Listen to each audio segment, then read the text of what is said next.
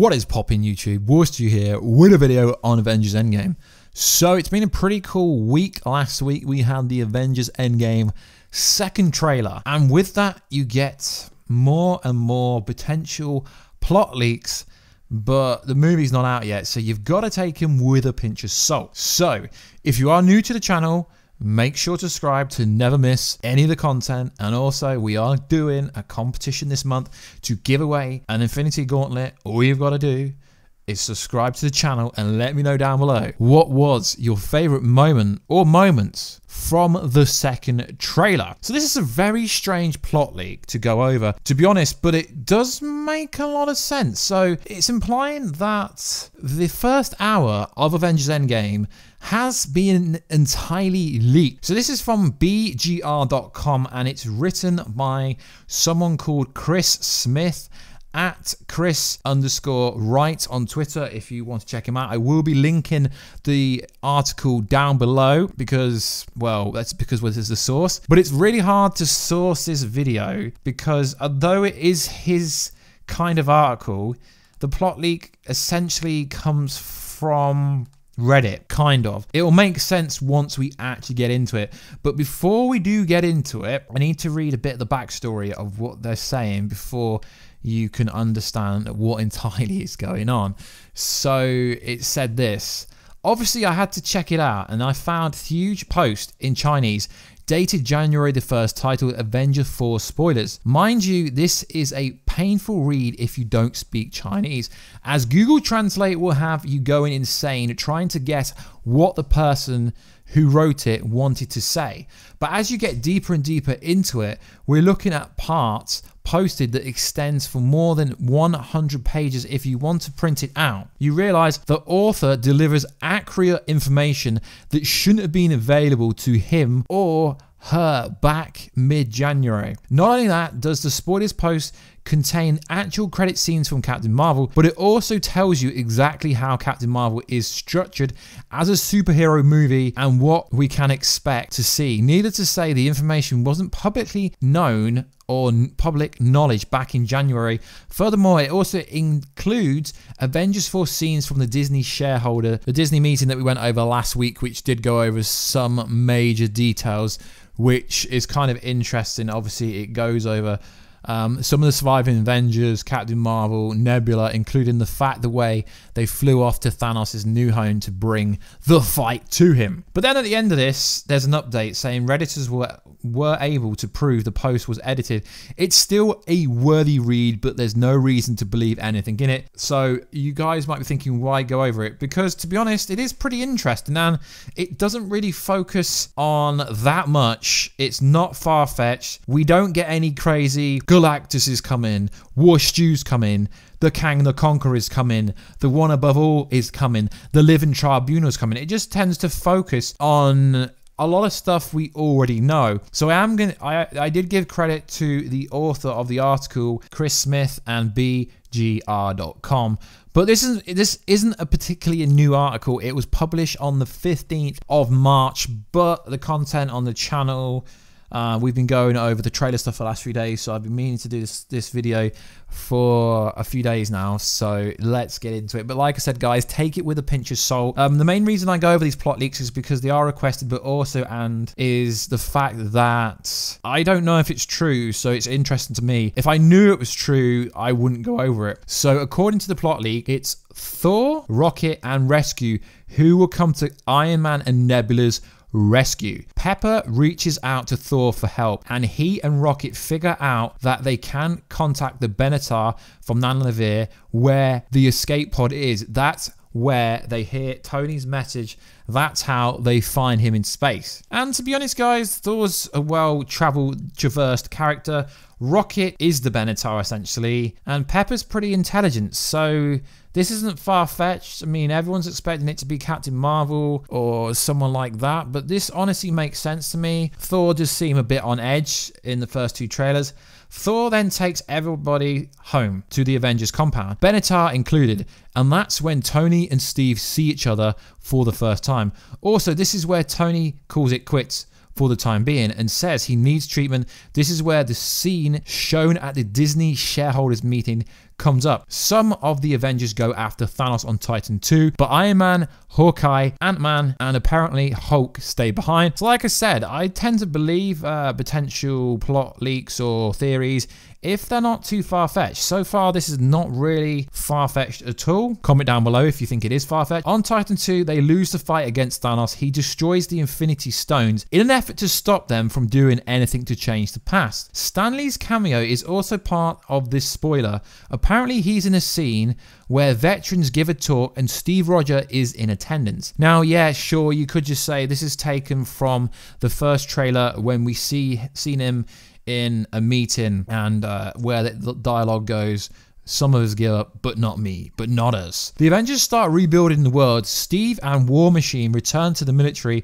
while Black Widow will use S.H.I.E.L.D. resources to help with all the crises out there. Apparently, she's very shaken about everything. She misses a lot of shot whilst practicing. The current trailers show that she pulls herself together, though. So, I mean, guys, is this far fetched? No. Is Kang the Conqueror around the corner? No. Is Iron Man obviously Kang the Conqueror? No. So it's not really that far fetched, to be honest, guys. So there is some evidence to back this up. Meanwhile, Banner and Tony are working on bringing back the people who were turned to dust. While Thor and Carol go back to space, Thor wants to find the surviving Asgardians, while Carol leaves to continue her duties. Now, it is rumored that obviously Thor and Carol Danvers, aka Captain Marvel, will both form an army. I mean, that's a conspiracy theory, stroke rumor that's been going around the, the obviously the plot leak scene for like the last six months, but there's no real evidence to suggest that it's true. But it's not far fetched. This is when Scott Lang shows up after escaping from the quantum realm. He explains what has just happened to him. He used his aunt's communicator to get out of the quantum realm where he was stranded at the end of Ant-Man and the Wasp. He returns with quantum energy from the realm and explains that he saw his daughter in a parallel universe, although she hasn't recognized him. I mean, this does make sense. We have been told we will be seeing alternate versions of the same characters and there could be parallel universes. So it's not really that far fetched. It's focusing on, um, obviously, the original Avengers, which the first act of the movie will essentially focus on the first part of uh, like the original Avengers, so to speak. But I'm not really expecting Captain Marvel to show up that early, so that's the bit that's a bit of a red herring for me. That's when Tony decides to explore quantum tech and Scott unshrinks Hank Pym's lab inside the Avengers compound. Interesting. Tony develops suits for the quantum realm that are built using the same nanotechnology as Iron Man's suit. Apparently, those watches that we saw on the hands of several Avengers in the leaked Endgame set photos are what housed the white suit that we just saw in the second trailer. Um, I'm still on the fence about whether these are quantum realm suits because why would Ant-Man need a suit to go through the quantum realm when he's literally been through it in Ant-Man 1 and Ant-Man and the Wasp and he's literally going to come out of it during Avengers Endgame, which technically means he'd been in it three in three movies, but two different times. So there isn't really anything overly far-fetched in this theory. I mean, I've been over a lot of plot leaks and to be honest guys, a lot of them crazy. This one sounds pretty pretty basic. Banner has found a new way to work out things with Hulk and the resulting entity might be Professor Hulk. War Machine gets an upgraded costume as well and is developing a secret secret weapon with Banner. That could be the image that the Russo brothers shared. It looked like some kind of weapon. We don't realistically know officially what it is. This presumably takes place in the more distant future following the event, the event of Avengers Infinity War.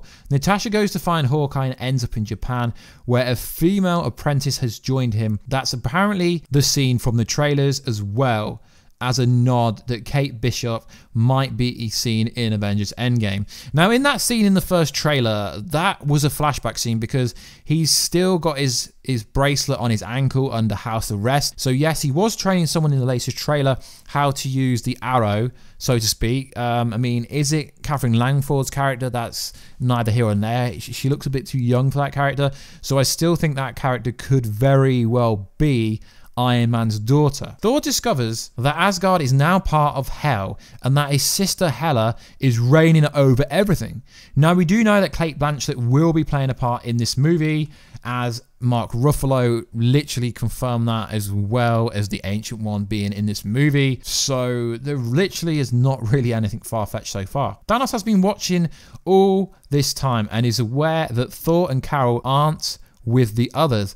That's why he attacks Earth, looking to prevent them from going to the quantum realm to jump back in time. Scott tells the Avengers during the fight which might be the fight we saw pieces of in the second Endgame trailer, that someone has to defend the quantum tunnel to make sure they can return from the quantum realm. So, this bit to me is where it gets a bit choppy because earlier in this same plot leak, so to speak, it said that Thanos destroyed all the Infinity Stones. I'll, I'll, read this bit. On Titan 2, they lost the fight against Thanos. He destroys the Infinity Stones in an effort to stop them from undoing the changes in the past. Um, so I don't understand how, if all the Infinity Stones broke, how Thanos could have been watching them all the time unless he was like a stalker standing outside of the Avengers HQ um, so that bit doesn't really make any sense to me. That's that's another red herring. There's a, there's a few red herrings in this, but it's not over the top crazy like Galactus is coming to take everyone out. This is the fight where we see War Machine rock the new Hulkbuster costume, fending off Thanos and his upgraded Outriders. Thor and Captain Marvel, contacted by Tony, rush to Earth with the new allies. Thor brings Hela undead army. So Thor is going to bring Hela's undead army to Earth. That would be pretty cool because that is a big problem that a lot of people have is Hela was hella cool. Cate Blanchett smashed that role, but we didn't really get to see her. And the Asgards, the Valkyries included to fight, while Carol comes with a Nova Nova Corps forces. Uh, it's not really that far fetched. This is where the first Dead Avenger reappears, and he is a new version of Vision based on what Shuri saved from the old one. It's War Machine and Vision who fight the Outriders, and Thanos with the others run to the quantum realm. So it's not really overly far fetched. I mean, I would say out of all the plot leaks I've been sent and gone over, this makes the most sense. And then it just goes on to say, make sure you check the Reddit post down below for a more detailed run of the first hour.